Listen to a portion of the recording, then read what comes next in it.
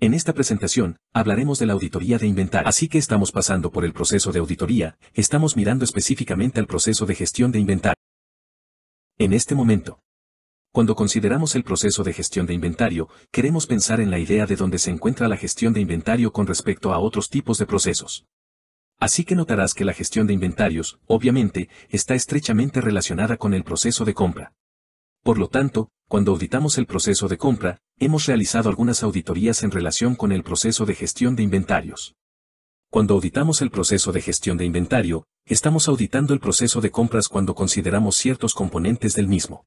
A medida que construimos el plan de auditoría, queremos tener esto en cuenta. Por lo tanto, podríamos considerar cuando auditamos algo como la compra, que parte del proceso de gestión de inventario se auditará, cuánta de esa cantidad de información o evidencia.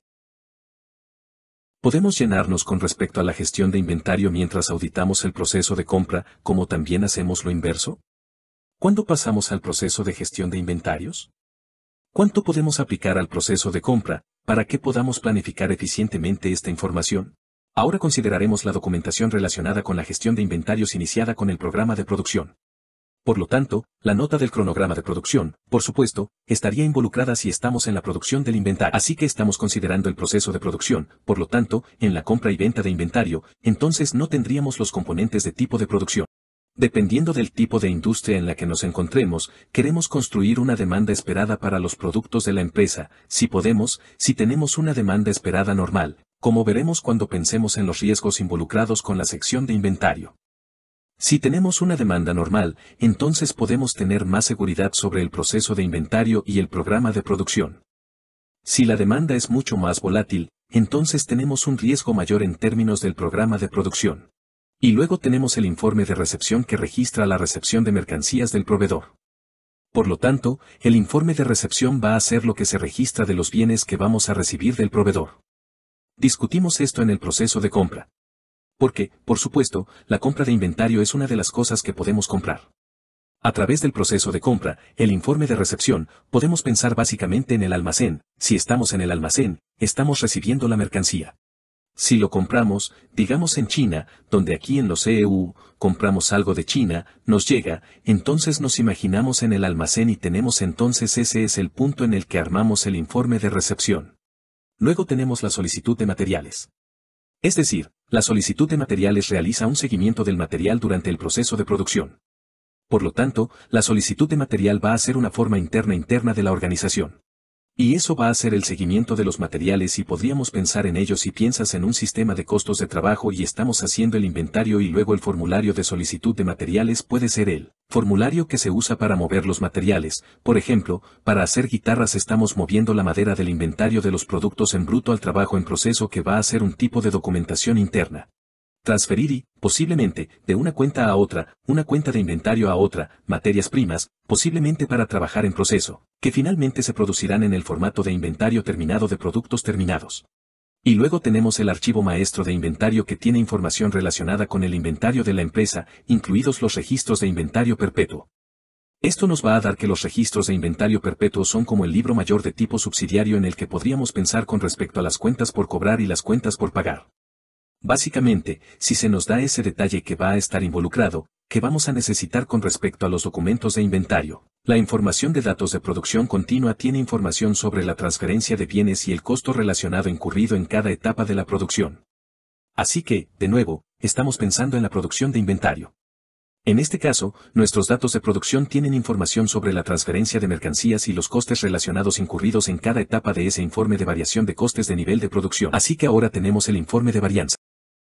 Los costos de mano de obra y gastos generales se cargarán al inventario durante el proceso de fabricación. Entonces, cuando fabricamos los bienes para hacer el inventario, tenemos mano de obra material y gastos generales, esos son los tres componentes que vamos a tener que considerar en el inventario.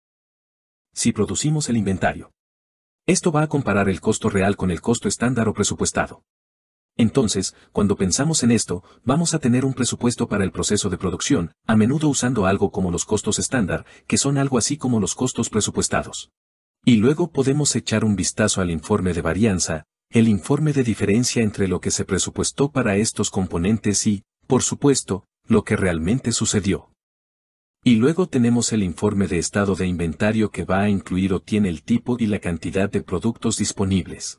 Por lo tanto, el informe de estado de inventario de los tipos bajo el tipo y la cantidad de productos disponibles. Y luego la orden de envío, el envío en orden utilizado para eliminar mercancías de los registros de inventario perpetuo. Entonces, cuando pensamos en el pedido de envío, estamos pensando en los pedidos que básicamente salen. Así que tenemos la orden de envío.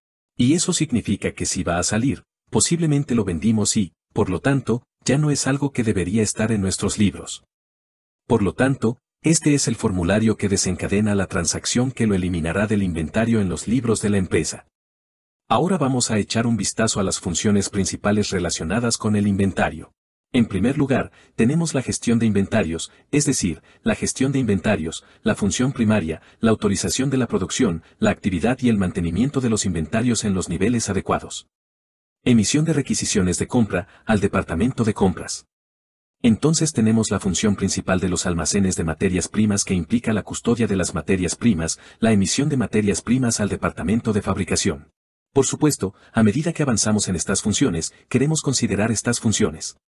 Y está considerando cuáles serán los riesgos involucrados en estas funciones, el riesgo inherente, qué controles internos podrían implementarse para ellas cómo podemos probar los controles internos como auditor, y luego, por supuesto, la prueba de los controles internos que haremos con respecto a la auditoría de ellos, y luego los procedimientos sustantivos que podemos probar relacionados con estos también, luego tenemos la fabricación, la función principal de la fabricación, que va a ser la producción de bienes, luego tenemos el almacenamiento de productos terminados.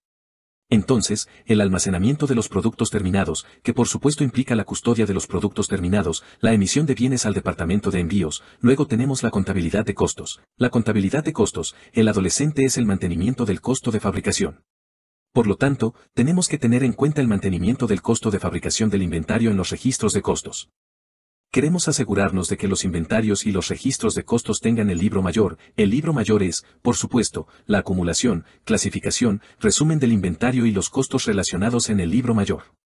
Ahora pensaremos en la segregación de funciones con relación al inventario. Así que recuerda, este va a ser uno de los principales controles internos. Cuando pensamos en controles internos, tenemos la subsegregación o separación de funciones, lo que significa que los componentes clave los vamos a separar.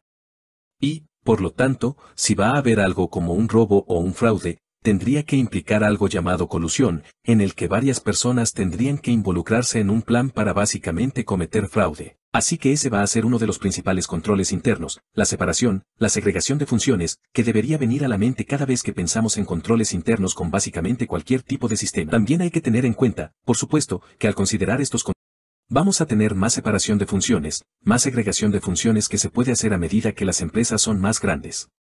Si vas a un tipo de empresas más pequeñas, la pregunta es qué tipo de separación o segregación de funciones será apropiada dado el tamaño y el mantenimiento o las personas que están involucradas dentro de esa organización. Muy bien, la función de gestión de inventarios y la segregación de funciones está separada de la función de contabilidad de costes. Por lo tanto, la gestión de inventarios separada de la contabilidad de costos, porque si no estuvieran segregados. Entonces, si tienes a la misma persona que va a estar involucrada en la función de gestión de inventario, y también está haciendo la función de contabilidad de costos, entonces la producción del costo de inventario no se puede manipular. Y, de nuevo, este es el factor interesante para que la mayoría de la gente piense realmente en donde podría tener lugar el fraude. Y luego, para nosotros, como auditores, tenemos ese tipo de punto de vista escéptico que tenemos que tener básicamente cuando estamos diseñando o pensando en controles internos o auditándolos. ¿Dónde podría tener lugar el fraude? Y entonces, ¿qué podemos hacer para establecer controles internos que lo reduzcan? ¿Y cómo podemos probar esos controles? Por lo tanto, esto puede dar lugar a un estado de inventario y un ingreso neto por encima o por debajo. Entonces tenemos la siguiente función de almacenamiento de inventario de segregación que se segrega de la función de contabilidad de costos. Por lo tanto, los almacenes de inventario funcionan segregados de la función de contabilidad de costos, si no estaban segregados, se pueden realizar envíos autorizados. Así que eso no sería bueno. Podemos tener que ofrecer envíos autorizados si tuviéramos una persona involucrada con esos dos artículos y el robo de bienes puede ser encubierto. Obviamente, el inventario es algo que no es tan líquido como el efectivo.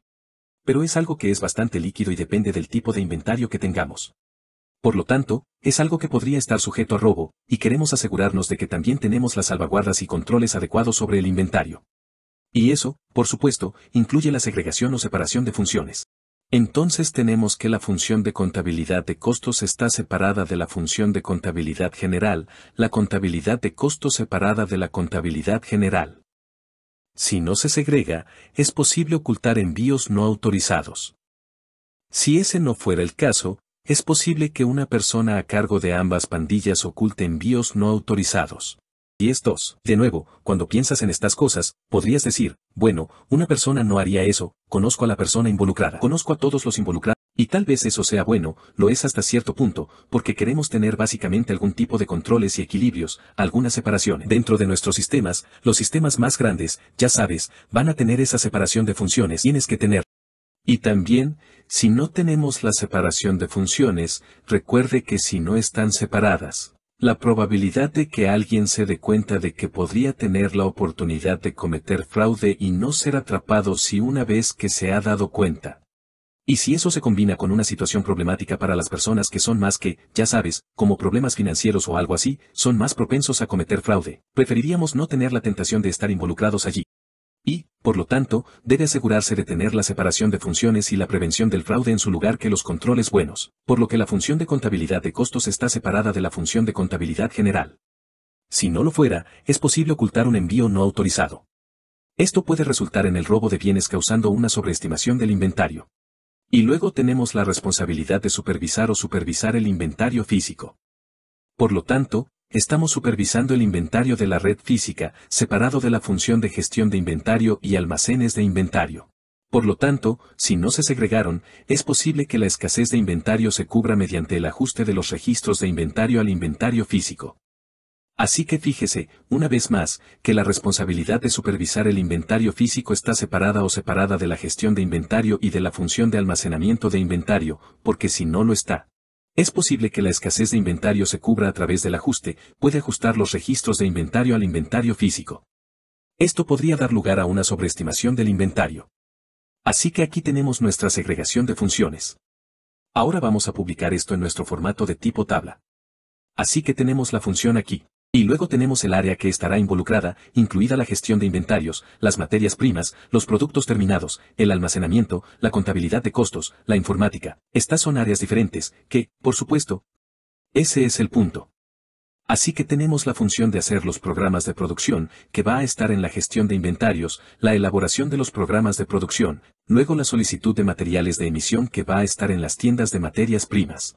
Así que esa es un área diferente. Y luego tenemos la actualización de los registros de costos con los materiales, la mano de obra y el uso de gastos generales que se encuentra dentro de la contabilidad de costos, a menudo ayudados por ellos según sea necesario. Y luego tenemos la actualización de los registros de inventario, que va a estar en la contabilidad de costos y, según sea necesario, la entrega de mercancías al departamento de envíos. Así que ahora tenemos las mercancías liberadas al departamento de envíos, a las tiendas de productos terminados, por lo que va a ser una ubicación separada, y luego la aprobación y emisión de la solicitud de compra que se realiza en la gestión de inventario.